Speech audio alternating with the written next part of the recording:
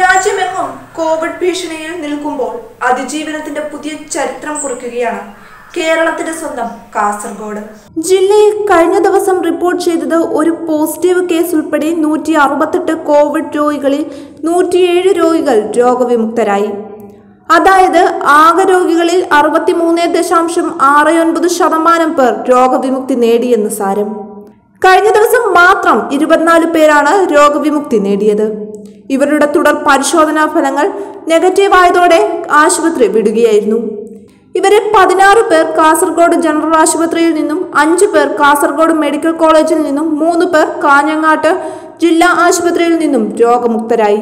April ആറിന് മാത്രം പ്രവർത്തനം ആരംഭിച്ച കാസർഗോഡ് മെഡിക്കൽ കോളേജിൽ നിന്ന് പത്ത് ദിവസത്തിനുള്ളിൽ അഞ്ചു പേർക്ക് രോഗവിമുക്തി നേടാൻ സാധിച്ചത് ജില്ലയ്ക്ക് ചികിത്സാരംഗത്തെ പുത്തൻ പ്രതീക്ഷയാണ് നൽകുന്നത്.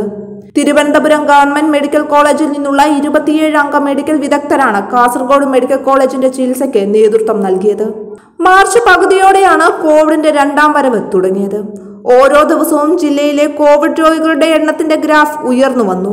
രോഗവ്യാപനത്തെ പ്രതിരോധിക്കാൻ ശക്തമായ സന്നാഹവുമായിട്ടാണ് ജില്ലാ ഭരണകൂടം മുന്നിട്ടിറങ്ങിയത്. ജില്ലാ രോഗബാധിതരിൽ എഴുപത് ശതമാനത്തിലധികവും ദുബായിൽ നിന്നും വന്നവരാണ്.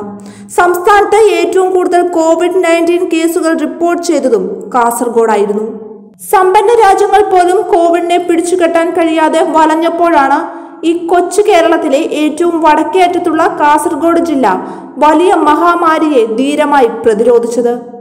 ആഗോളതലത്തിൽ വലിയ സമ്പന്ന രാജ്യങ്ങൾ പോലും കോവിഡിന്റെ കാര്യത്തിൽ പകച്ചു നിന്നപ്പോൾ കോവിഡിനെതിരെ കേരളത്തിലെ ചെറിയൊരു ജില്ലയുടെ പ്രതിരോധ രീതിയാണ് ലോകമെങ്ങും ഇനി പാഠമാകാൻ പോകുന്നത്.